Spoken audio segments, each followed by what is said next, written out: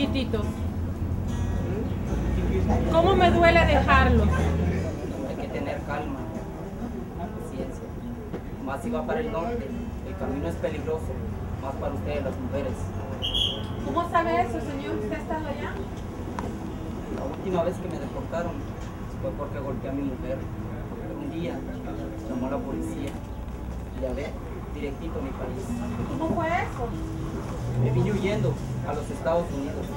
Deserté del ejército. Me metí en las drogas, en el alcohol. Me uní a una pandilla. Quise hacer lo mismo que en mi país, pero ya ven, siete veces culpados. Soy un expandillero que conoce el camino del infierno, que sufrimos todos los ilegales para llegar a los Estados Unidos. Este camino es duro para la raza. Señor, yo soy de Jutiapa, de Mapalipa, un pueblecito muy bello que luego se convirtió en infierno. Mi marido era pastor de una iglesia y se fue tras una nalga. ¿Y qué cree? Me quedé con mis hijos y me fui al pueblo de mi madre, de Cucumán. Llegando con una cruz a cuestas de deuda, le dije a mi madre que iba a vender los terneros de la vaca, los barranitos, y que con ese dinero yo me iba a ir para lejos, para el norte, y que le dijera a mis hijos que iba a estar trabajando lejos. Y saben, allá voy, rumbo para el paraíso. Wow. Si los hombres pendejos supiéramos lo que pasan las mujeres por sus hijos, no seríamos tan animales. 18 años de mi vida desperdiciados. Lo único que quiero es ir y ver a mi hija. Recuperar el tiempo perdido. Decirle cuánto la quiero, cuánto la amo. La última vez que la vi era una bebita. Ahora ha de ser toda una señorita. Me acuerdo cuando la las brazos y le cantaba.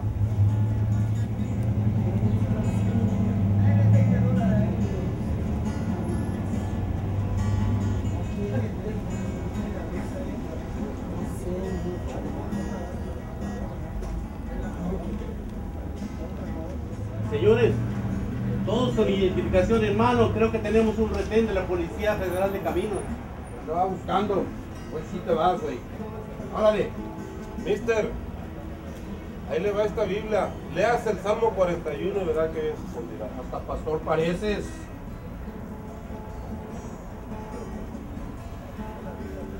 Ah, no. Dios bendice al dador alegre.